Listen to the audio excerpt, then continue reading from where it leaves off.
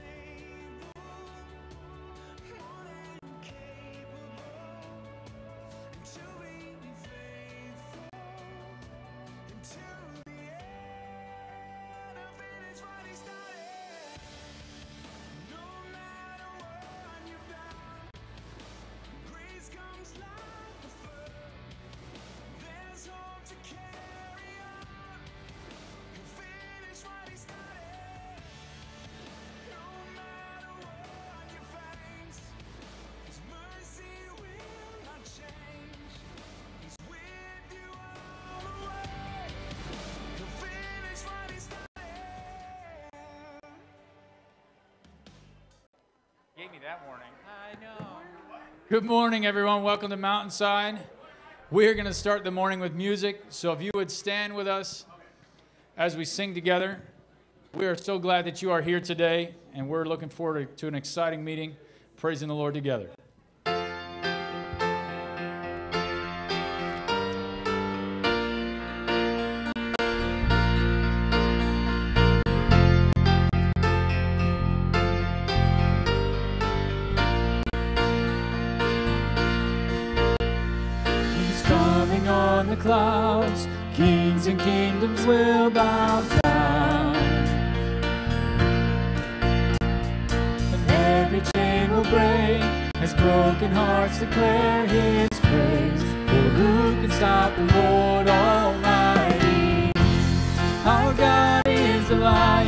the Lion of Judah. He's roaring with power and fighting our battles. Every knee will bow before him. Our God is the Lamb, the Lamb that was slain for the sins of the world. His blood breaks the chains, and every knee will bow before the Lion.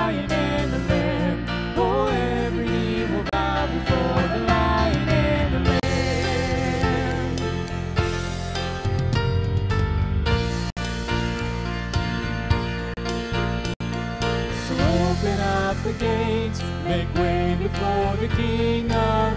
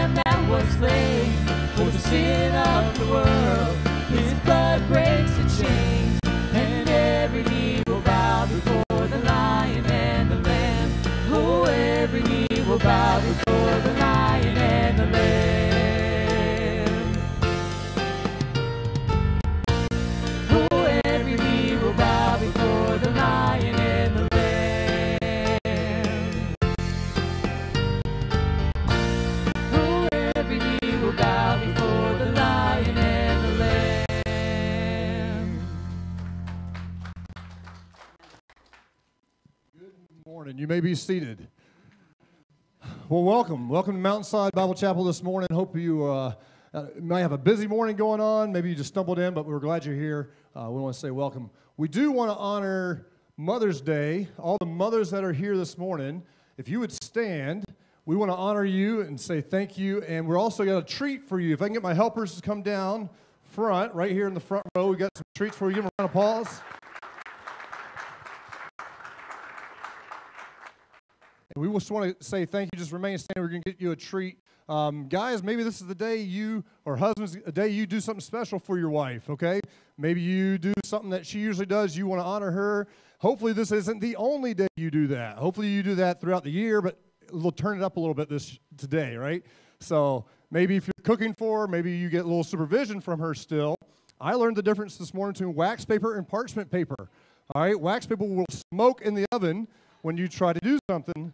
Um, parchment paper will not, and that's what you're supposed to use when you're making biscuits for your wife for dessert this afternoon. So, anyways, uh, there is a difference. There's maybe a little supervision. So, but we wanted to give you a treat this morning and say thank you and happy Mother's Day from us here at Mountainside. Um, also, uh, other ladies, you know, there's many ladies in, the, in, this church and that we know of that come alongside other families and help and do many, many uh, much needed points and uh, needs in the family. We just want to say thank you. So hopefully there's enough treats for everybody to get around here. If you didn't get one, raise your hand right quick. The little kids can find you. And kids, once you're done, you can come back right up front and turn the candies in. No, you can't keep those and take those home. So, perfect. Great. Well, just want to say thank you for the work day. People that came out yesterday to do different work around the property here. We did a lot of different uh, cleaning up, uh, some organizing, some painting, um, all kinds of things. Your dad said, go to the nursery for the candy. Go to the nursery, Nathan. Nathan. And pass out to the moms in there. But just want to say thank you for the work day. People who come out and helped do all kinds of uh, jobs, much needed jobs. We had a great day. So thank you. Uh, Liz, you have an announcement about Ladies Ministries?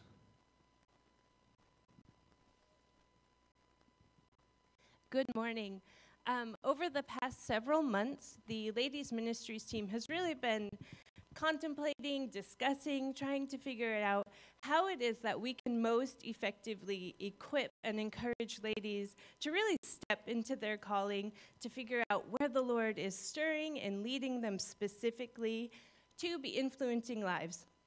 And as we've been discussing this, we're really excited just about how the Lord is leading us and what that's going to look like. But the first thing that we're going to do is support and encourage Joan Brees in leading the share shop.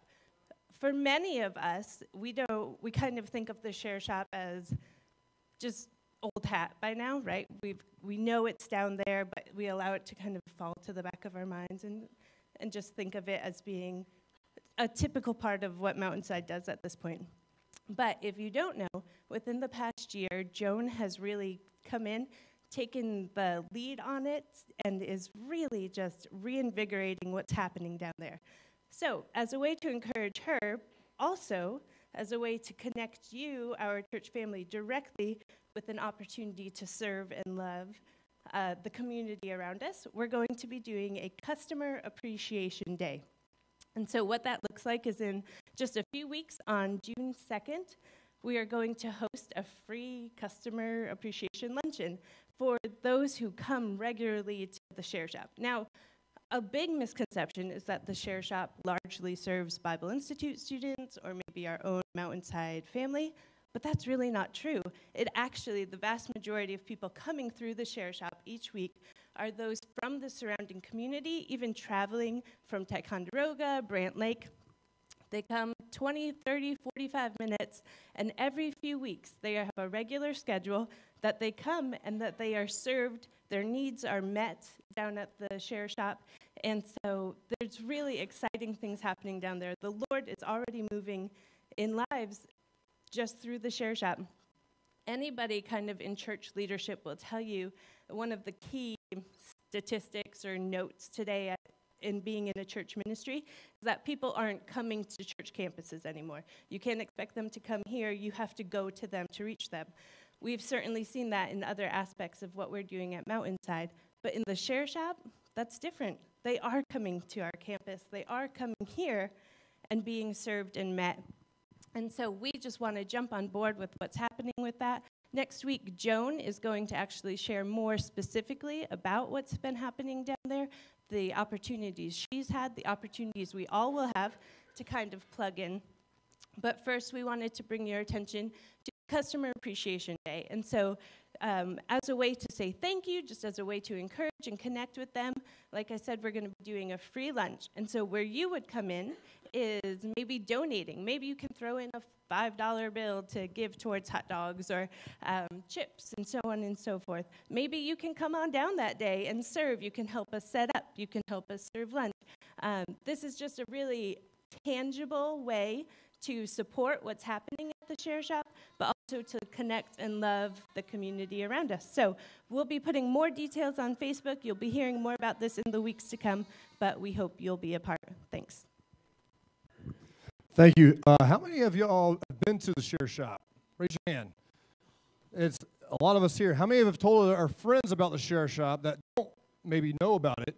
So tell your friends about the Share Shop. Share Shop. It's a, a great way to, like she said, get involved with different people. Lots of people come through there. It's amazing. So it's a really neat ministry to get involved with.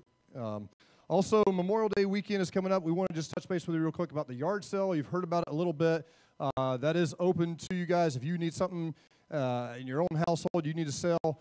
Uh, you want to put up an area. See Jeff Cutting. He's going to run logistics on that. But see him, connect with him, so we can you can come this way. You can set up a little spot, a little table, and sell some items here. That'll be happening at the the bus barn. We call it down by the ministry center, the lower end of the property there. Um, so make sure you contact Jeff Cutting. The sooner, the better. Don't. I'm sorry, it's in the parking lot up here, up top. Perfect.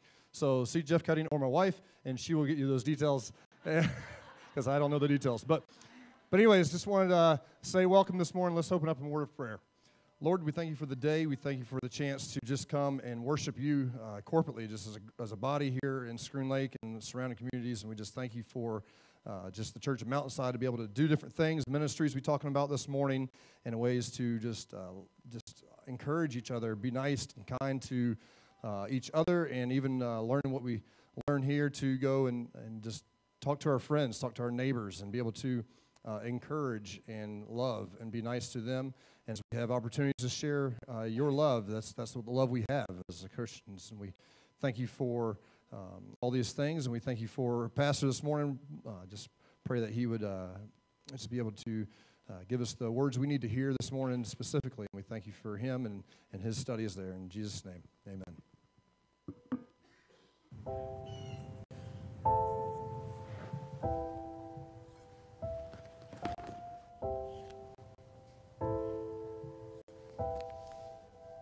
Guide me in your truth and teach me. Okay, okay.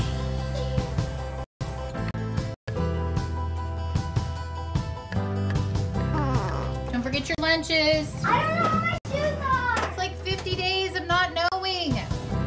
Love you. You love me too.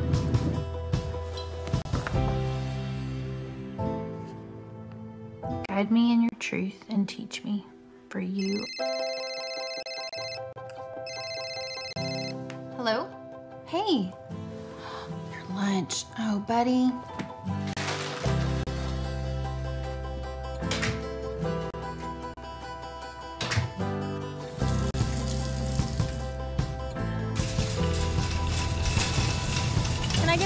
Protein box and a grande iced Americano, please? Double shot. Hey guys, how was school? Are you still in your pajamas? This is math now? Honey, do you know him? Hmm. You need a bath. Tomorrow.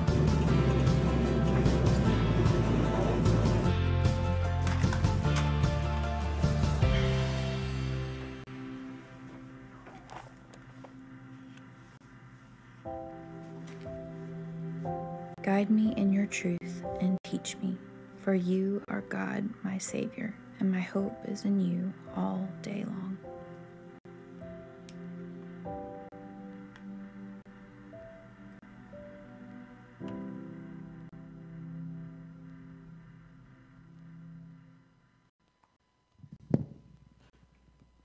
All right, well, thank you, moms.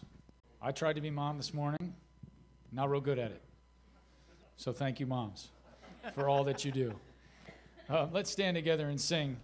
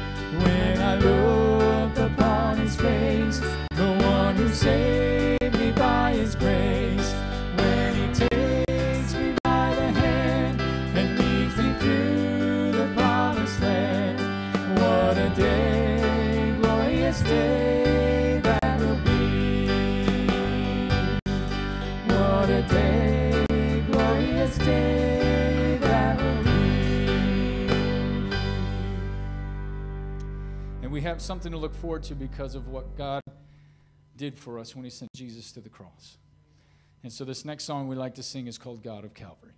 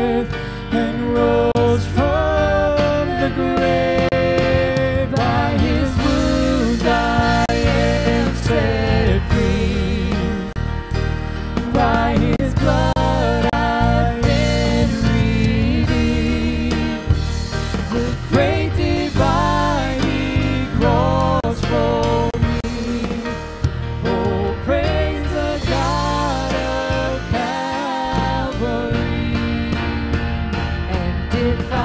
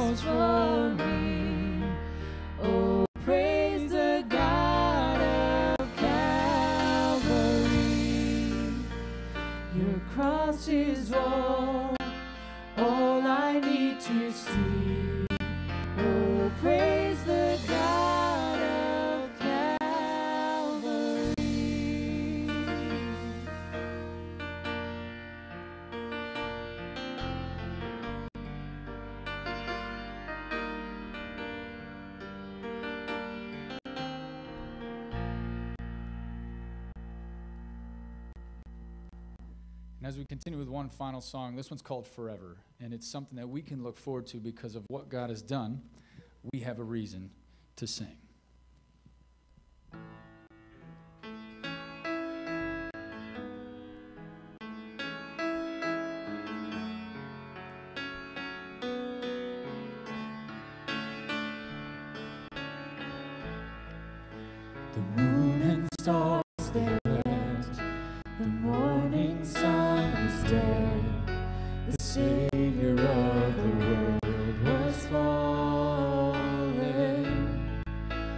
body on the cross, is blood poured.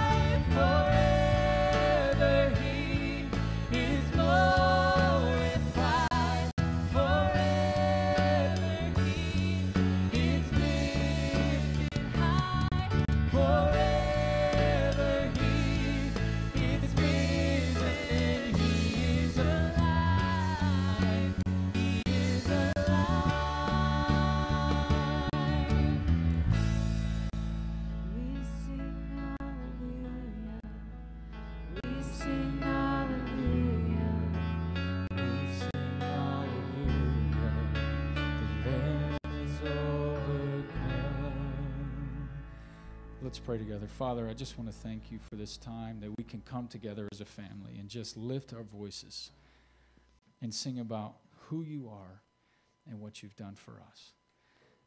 To give us the opportunity to have a relationship with you. And Father, I thank you for your sacrifice. And may we live that out in each of our lives, whether it's at home with our families, at, at work with, with coworkers, at school, at the grocery store, at the park, wherever we are, may we lift you high. We ask this in Jesus' name. Amen. And the stampede begins.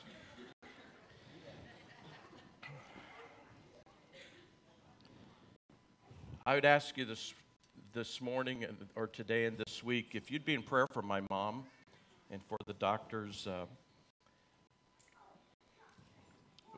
just uh, no diagnosis, and there's some, uh, there's maybe one more very challenging test to be done for us to have any ideas to what's going on inside her body. So we'd appreciate your prayers, just for the doctors to have wisdom, and then for us to have wisdom, depending upon what the result is uh, this week. Um, so this is kind of a decision week for, in a lot of ways for us, and so be in prayer for my dad too. And so it's a, been a challenge. My mom's been in the hospital, I th- think about nine of the last 11 or 12 days. So appreciate that.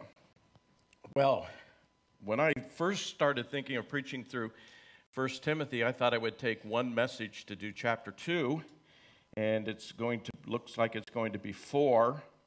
And so we're going to do, preach on one word um, or uh, one phrase in chapter 2 and it, we uh, looked at the verse last week when we looked at prayer. 1 Timothy 2 8 says, I desire that men, that in every place that men should pray, lifting holy hands without anger or quarreling. And I want to talk this morning about worship and what the Bible says about worship and uh, what the Bible says about worship, what worship looks like. Um, the Bible uses the word worship 183 times in the, in the scriptures, so it's a very important, a very key place. And there are many words um, in, the, in the Greek, in the New Testament, to uh, speak of worship. There's primarily one word in the Old Testament. Um, what I have before you is not necessarily all of them, but the key ones. Uh, the Old Testament has the idea of uh, to, to uh, either throw a kiss or to bend forward.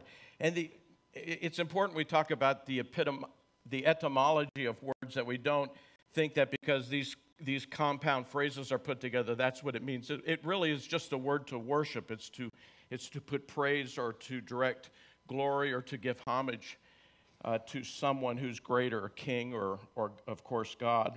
In the New Testament, there are uh, words that either symbolize the idea of giving worship or serving in a way that worships. But all of these words carry the idea of humbling myself or submitting oneself before God. And so worship is a response to God. Um, when other kinds of religions speak of worship, they may speak of as a way of appeasing God, you know, that you worship Him and then He feels honored and He's going to treat you nice. Ours is exactly the opposite. We worship God because of what He's done, because of the truths that we know about Him. I have preached many times about all of life being an act of worship. And there's also a fact that there is such a thing as worship that is different. Um, we have a lot of things that we say this way. Here's, here's the challenge if a word is used to describe everything, then it doesn't describe anything. In other words, take the word missionary. We say, be a missionary every day. Um, you know, that uh, we are all missionaries. Well, then what do we call the person who goes to uh, South America with the gospel? And it's not that it's improper, it's just that we, under, we need to understand sometimes that when we talk about worship, we're talking about living our life as an act of worship, as a response to God. But there is such a thing as worship proper.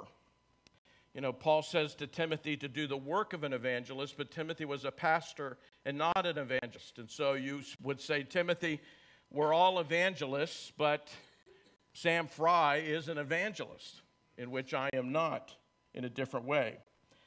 I guess let's use it in a different way. When I work or you work to support your family, you are loving them even when you are doing whatever you do. But that's a different thing than loving them when you hold them and hug them and say that I love you.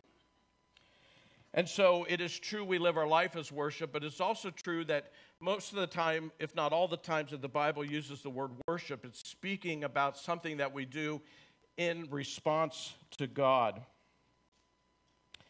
And so um, the first part of our service on Sunday morning is for corporate worship, and that each of us should take time um, in our weeks to spend time before God and worshiping Him. It's not just singing songs that we like to sing. It's not that it's not like God likes the specific song Um, it's that uh, we turn our hearts towards God, and music is an excellent vehicle, of course, to uh, gather all of my being and to focus on God. Uh, music, God has made us to where music immediately captures not just our mind and our, but our emotions and our body altogether. And what is happening here is 1 Timothy 2 8 is that worship is not just intellectual, that raising a holy hand is a physical act. And so worship involves my body. And John wrote that we, God desires that we worship him in spirit and truth. In other words, it's not just truth, but it's, uh, and I don't want to go down the path of, of making spirit say more than it really says, but it's, it's not just that we know things. And uh, sometimes we think of Christianity as what we know, and we don't think of it as, as even what we do or how we act. And so it's interesting when we talk about the body, the body, there's a lot of negative things about the body in the scripture, but there's one verse that has a good thing to say about the body. And it's 1 Corinthians 16, 19 through 20, that our body is the temple of the Holy Spirit. And the Holy Spirit is in us. And we have the Holy Spirit from God, whom you have from God, that you're not your own. You've been bought with a price. Therefore, glorify God in your body. And so, God has, has purchased our bodies, and our bodies are to be used to glorify God. And you could preach a lot of messages on ways that we glorify God with our body. And so, today, I want to talk about what the Bible says about acts of worship and, and the actions. And so, let me be clear about what I'm trying to accomplish today, okay? I'm not going to say that the Bible commands you to raise your hands to pray.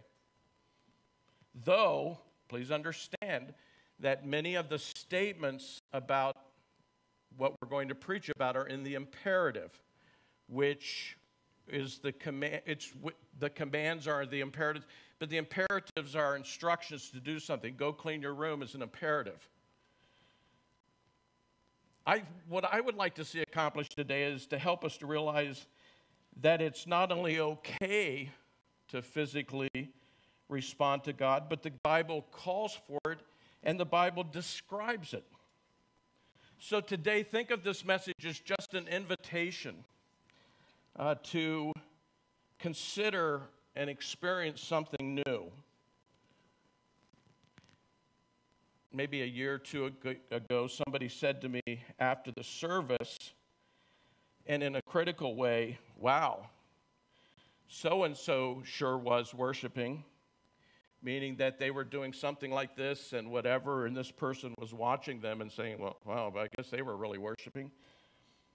And this person is a friend, so I said to them, and it sounds like someone else wasn't worshiping, right? I mean, their mind was no more on God than anything because they were so focused on what this other person was doing. I've also heard it said many, many, many times that your response in church should be what you do in your own private time. In other words, if you raise your hand in your private time, uh, but don't raise your, don't do something in church that you don't do in your private time. Just so we're clear, that's not in the Bible.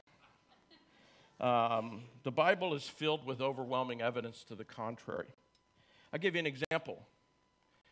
I never pray out loud when I'm by myself.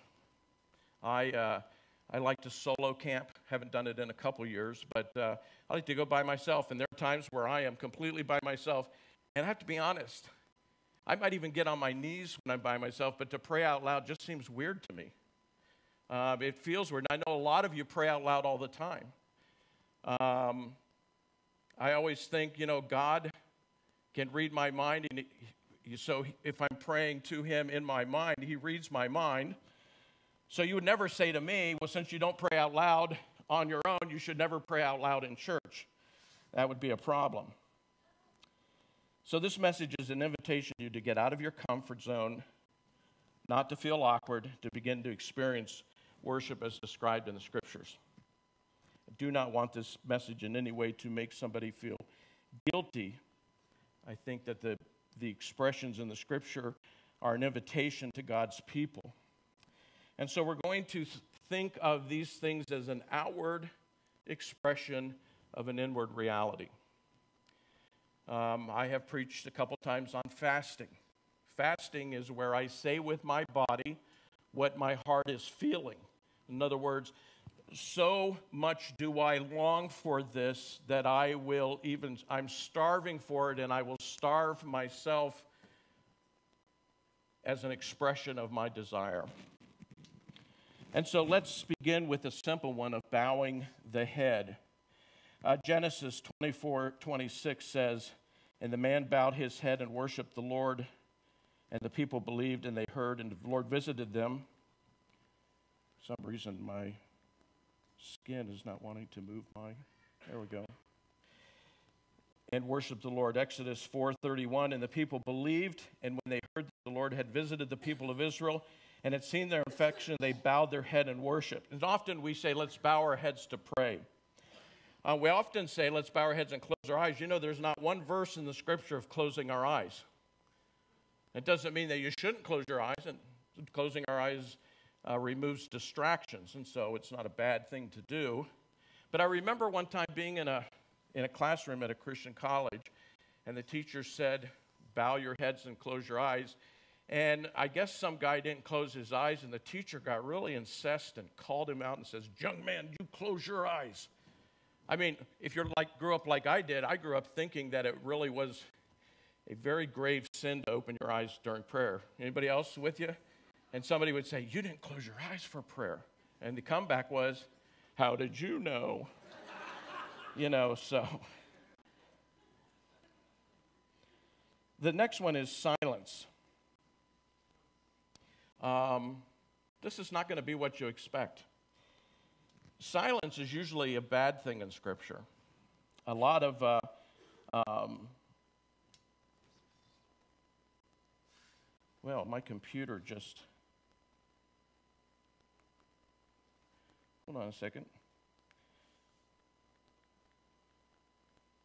Just talk amongst yourself. No.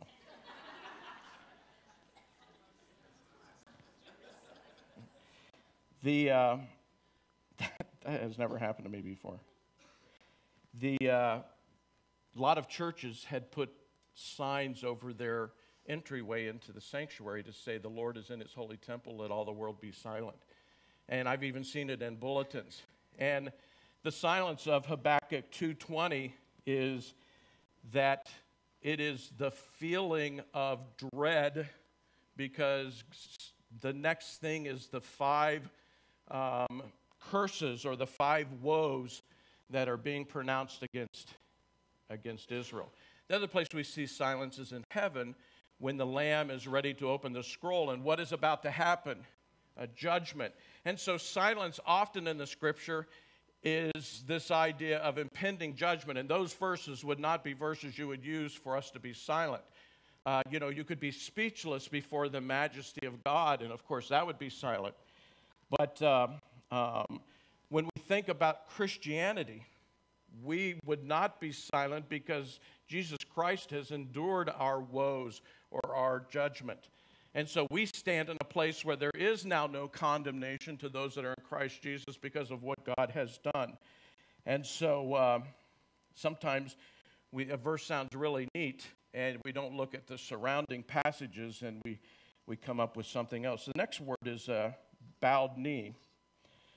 Of Solomon in Second Chronicles 6:12 of bowing his knee um, as he comes to pray it says, And Solomon made a bronze platform, five cubits long, five cubits wide. Uh, and then he knelt on his knees in the presence of all the assembly of Israel and spread out his hands towards heaven. Ephesians 6 or Ephesians 3, Paul writes, For this reason I bow my knees before the Father. Same in Isaiah, and the same in Philippians says that at the name of Jesus, at the end, every knee will bow and every tongue will confess I personally love the idea of, even with a group of people, of getting on our knees to pray. Um, First Baptist Church in Dallas, if you ever visit there, in their auditorium, I think they have a new auditorium now, so I might be speaking of the old auditorium. The old auditorium had kneelers. And what the history behind those is uh, the church was going through some very big difficulties, and Dr. Criswell heard that a Catholic church was remodeling, and he bought all their kneelers and had them installed.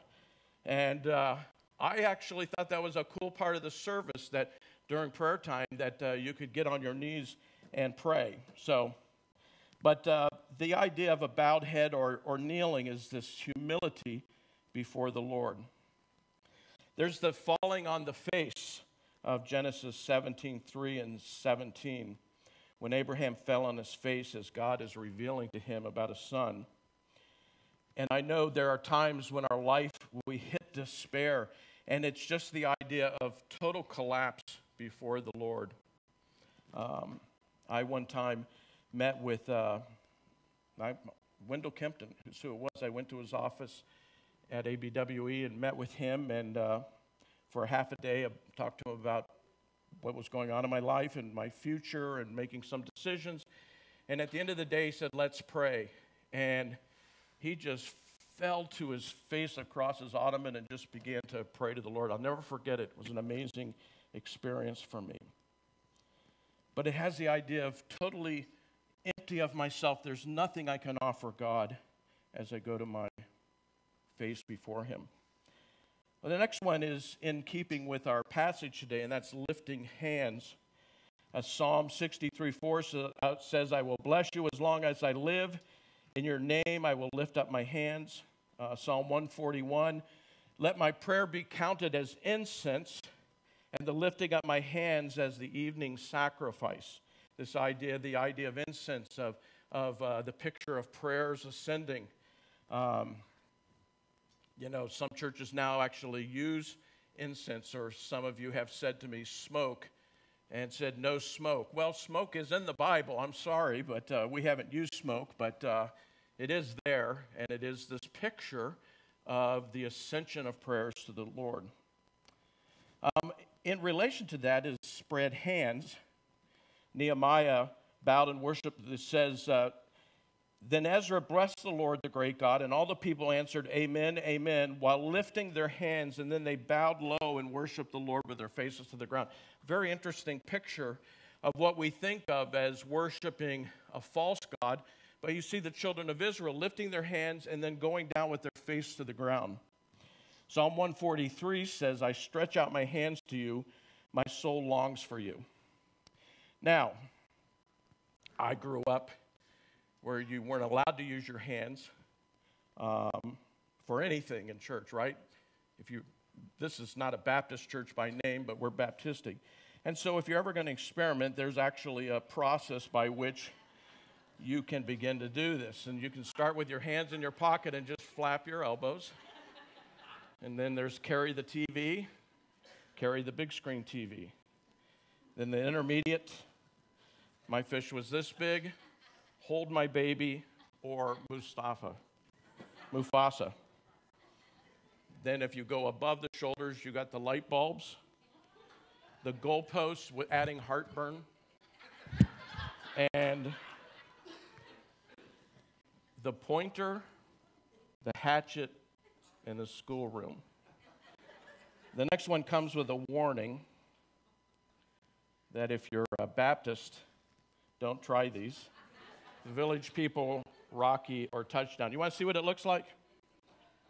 Feel free to join us, but don't feel like you got to join right in, okay? Start slow. We got a lot of different hand raises that we use.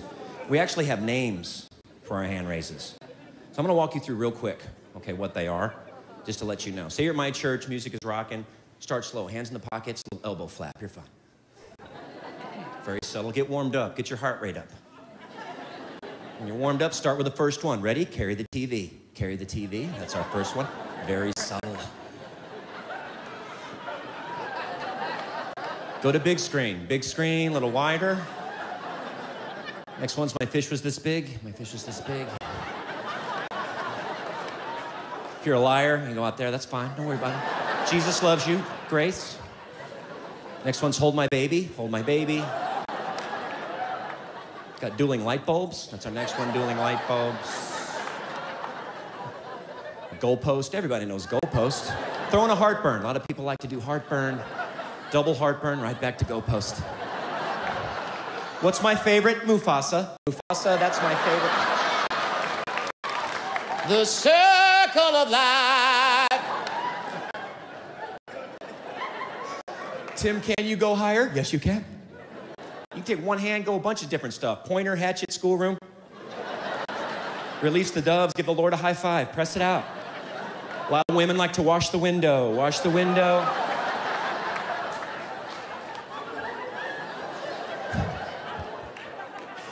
And when you're comfortable there, go for the big three. Village people, Rocky, touchdown. There you go, there's your big three. You're set. Well, let's move on. Shouting. Psalm 95 Come, let us sing for joy to the Lord. Let us shout joyfully to the rock of our salvation. Let us come before his presence with thanksgiving let us shout joyfully to him with psalms. Uh, the shout joyfully, you know, we see it throughout the psalm. Psalm 98 says to shout joyfully. Psalm 100 says to make a joyful noise. I'm not sure what that is. Uh, growing up, there were two times you were allowed to talk in church, right? And all God's people said, yeah, that unless the guy said and all God's people said, you weren't allowed to say amen. Except Bob Brown's church, right? Because he was south of the Mason-Dixie line, like you probably. He probably said it without being prompted in your church, right? Yeah. You're north of. Uh, if you're in the north, you never. The only other time, you if he's once a year, they would say he is risen, and you could go, he's risen indeed. I just won a million dollars. I won a million dollars indeed. I mean, Jesus is raised from the grave indeed. So, anyway, let's move on. Clap your hands. Clap your hands, all peoples. Shout to the Lord with loud songs of joy. Psalm 47. Uh, clapping is like more joy, like, like you've been given a thousand dollars. Now, a lot of us grew up in churches where clapping was forbidden. Uh, You know, my dates aren't exact, but then about the 80s, we started to clap like if a teen did something, right? Like if a teen played the piano or sang a solo, we'd clap for the teen very politely. And then about the 90s, we started clapping for special music. And then always you weren't sure if it was wrong. In fact, the logic was if you're clapping, you're clapping for the performance, you're puffing up the artist. So what we were allowed to do was go, Amen or mm, right? So somebody would play a piano and everybody go, mm, mm.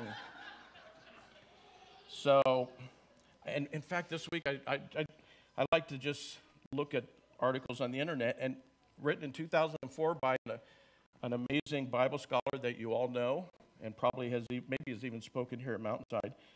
And he said in the Bible, every place that clapping is mentioned, it's negative. Clap your hands, all you people. Shout to the Lord with loud songs of joy. I, I, it, it, just, it just totally amazes me sometimes. He says, better to say an amen or praise the Lord. So, you're ready for the next one? Put on your seatbelts. Dancing. And this dancing mentioned in the scripture has nothing to do with the idea of dancing when we say dancing. In fact, the question that I get asked most by unbelievers is why don't Baptists dance? And my answer to that is I have no idea. And that's an honest answer. I remember when I was in third grade and the pastor had spoken against dancing, and I went to school and they were doing square dancing. And I went to the teacher and said, I don't know if I'm allowed to do this. And so the teacher called my mom, and my mom didn't know if I was allowed to do it. Um, I don't really remember how it ended. I just remember how ridiculous that sounds now. Years ago at Grace Bible Church, we were transitioning our music, and it was, it was a rough time. And uh, I went on vacation, and when I came back on Saturday, I looked at the bulletin, and one of the songs that was selected for the next day was He Set My Feet to Dancing. And I thought, could, could you pick a worse, a worse song when you're going through transition, right? I mean, He set my feet to dancing. And I remember I called the associate pastor and said, What are you trying to do to me? I mean, uh, this is going to be rough. And he, I said, before, I, before we do anything, let me pray about it. And I started studying the scripture. Psalm 30, you turned for me my mourning into dancing. Loosen my sack, sackcloth and clothe me with gladness. Psalm 149, let them praise his name with dancing, making melody to him with the tambourine and lyre. Who was wrong? I actually got up and introduced the song to the congregation by saying, I almost prevented us from singing a song directly from Scripture. And so we have to be careful that we're biblical and not cultural and say, well, we, you know, we don't. Now, the prime example, I remember being taught this in grade school and junior high, the story of David and Michal. And when the, when the tabernacle was being brought into Jerusalem, after so long and after trying it the wrong way, David goes before the tabernacle dancing. But again, he's, he's, he's obviously the happy feet before the Lord as the tabernacle is coming into the city. And his wife looked out from the window and thought that he looked undignified. And she gets cursed as childless. Now, the way I was told the story goes is that David danced, Michal was offended, therefore we shouldn't dance. And I remember asking in seventh grade the teacher, why did Michal, was she the one punished? I mean, David wasn't punished, she was the one. Like she shouldn't have been offended. And so we have to be careful what passages we use. I think of dancing in these passages as happy feet. Um, if clapping was when, what you do when you get $1,000, dancing's what you do when you get a million dollars, right? Um, better than that, my son came back to God. My father came to Christ. My neighbors asking questions about the gospel. It's not an ecstatic experience. It's not an out of a mind experience. It's just that under the control of the Holy Spirit, that we are just so excited about what God is doing that we just can't stand still. Um, I have that happen to me every football season, right? I mean, I can scare the family half to death with my dancing, you know, over a touchdown or something like that. Um, I remember being in a motel when Kirk Gibson hit his home run when he was injured, and I was in a motel and I screamed so loud, I thought, ooh, boy, you know, my favorite sports moment. You know, we understand it in every other arena, this idea of being excited. Um, a, a, a, woman comes up to another woman and says, I'm going to have a baby. What do they do? They both kind of jump up and down. Um, and so in our life, there are all these things, except when it comes to the things of God. So that's the hardest one. Now we'll just kind of cruise out to the end. Uh, playing instruments. Talk a little bit more about this, but interesting, the only instrument not in the scripture because it hadn't been invented yet is the keyboard. Uh, the word organ is used in the King James, but it would be more like a pan flute. It has the word is actually a breath instrument. So it's interesting. Then we came to a time where you couldn't have any instrument but a piano or an organ because they were the only ones that were, that were right. A singing. I'm not going to spend much time here, any time here, 169 times. But I want to close out with a couple, a couple things that we sometimes think so wrongly about. And one is uh, uh, singing the old songs. Let me get a drink before I go to this one.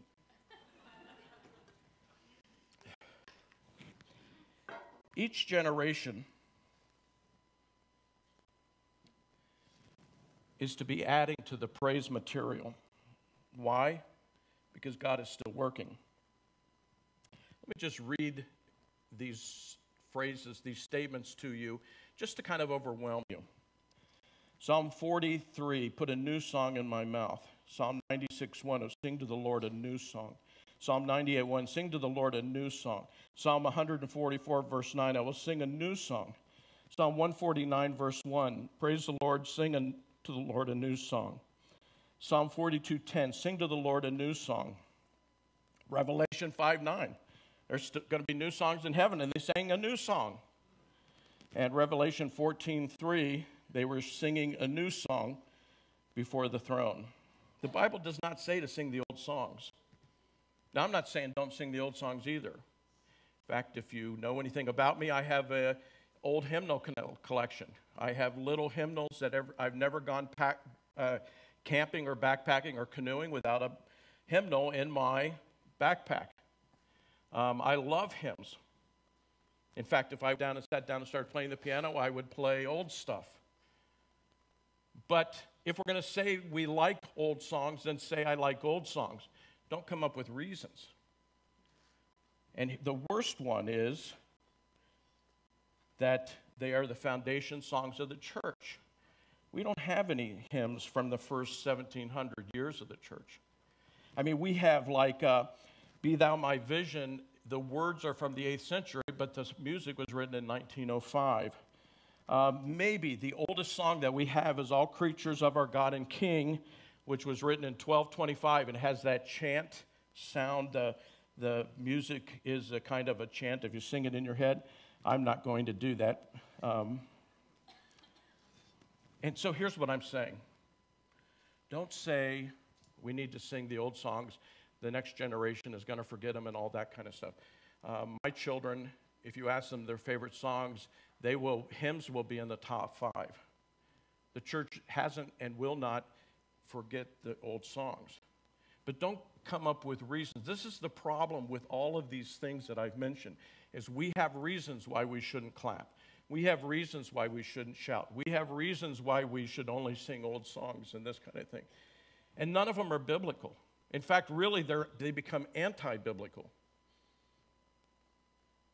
because they're actually contrary to what the scripture says. And then my favorite one, and forgive me for inserting this because it doesn't really go with the theme, but I just had to say it God loves repetition. Listen to this. This is going to make your head explode. You know, when, when praise music first began and people called them 7 11 songs, you say the same seven words, sing the same seven words 11 times. Well, get ready for this. Revelation 4 6. And before the throne, there was, as it were, a sea of glass like crystal around the throne, and on each side of the throne, the four living creatures, full of eyes in the front and behind. The first living creature like a lion, the second living creature like an ox, the third living creature with the face of a man, the fourth living creature like that of an eagle. The four living creatures, each of them with six wings, are full of eyes around and within, and day and night they do not cease to say, Holy, holy, holy is the Lord God Almighty, who was and is and is to come. 16 words, not sung 11 times. I don't know, what are they up to now? I mean, uh, a, billion, billion? And if they go through eternity, now stop and think about people who say we shouldn't use repetition. In fact, often when people say that to me, I'll say, well, you like hymns with choruses, right? Well, yeah, well, we sing the chorus every single time we sing the verse. How, how is that not repetition? Or the, my favorite one, Power in the Blood. There's power, power, wonder working. And then we then the musically remember you say, let's see how many powers we can get in there. And there are power, power, power, power, power, power, power, power, wonder working. Remember that? So if you want to say you don't like repetition, that's okay. But don't make it a theological. That's my whole point here. Don't make theology out of things that aren't theology. We're going to deal with this again next week in a different way. We're going to talk about what it means to offend somebody as we talk about how to dress for church. Yeah. So, Christ has fulfilled all the rituals of worship. So, all of the all of the things of the tabernacle in the Old Testament taking care of Christ. He has satisfied the purchase of our salvation, and our high priest sat down at the right hand of the Father. And so our worship is a response. And here's the key the posture or these actions are an outward expression of an inward reality. It's not something I do to get myself in the mood. It's not something to be conjured up. It is to be motivated by the, by the overwhelming truth of what is being said. Now, here's the problem. If you're like me, you are significantly influenced by your upbringing. And that any expression of emotion in the church, except maybe crying, is wrong. And so it becomes hard. And I'll give you my own personal testimony. It was that he set my feet to dancing experience in my former church that got me to really start looking at this. And I became convinced at Grace Bible Church that God wanted me to, to do this. My back prevents me from doing this. I can't do it for very long. That's an uncomfortable position. But it's still, that's what was in my heart. And then we came here, and it was put on the brakes again. Um, and uh, just getting back to that. It's very tough for us that grew up being told something is wrong to then begin to experience it. I'm going to tell you an experience that I had once. Down in New Jersey, there is a very large um, African American church. Um, Tony Evans was part of discipling the pastor and then was instrumental in planning it. A very wonderful ministry. And so while my family was on vacation at our campground in New Jersey, I got the idea with my that I wanted to go to the church. And part of my family thought it sounded like a good idea, and part of my family didn't, because we had a choice between a two hour service and a two and a half hour service. And I wanted to go the two and a half because I don't want to miss anything. Aren't you glad you weren't my kid? I didn't make my kids go. Two of them went and one of them didn't. It was the most incredible experience I have ever had in a church service. Now, the preaching was a different experience. But I'm going to tell you something that happened in that service that was pretty amazing. It was part of the plan, but one of the pastors walked up and, in a very low and sad tone, he talked about the challenges of his week. And he made the statement something like this It's been a tough week, but God is working. And, you know, he then said something about God is still on the throne and I'm still going to praise him. And then he said it again, you know, like two amens.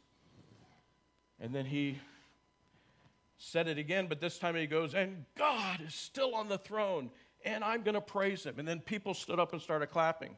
And it went on and on. And all of a sudden the organ starts up and the, and the instruments start up and the choir starts stands up and starts singing. And by the time we were done, it gives me chill bumps even now thinking about it. The whole place was standing and cheering and singing that we all had a terrible week, but God is still on the throne and we're going to praise Him. How amazing. I don't think it would work in our church. I'm not going to try it at least. Um, I just want to end by looking quickly, very quickly, at one psalm, Psalm 150. You want to take your Bibles? And uh, okay, uh, Jason Skeffington just sent me a message. We're roughly over 29 trillion repetitions of Holy, Holy based on the creationist time estimate and time to speak it.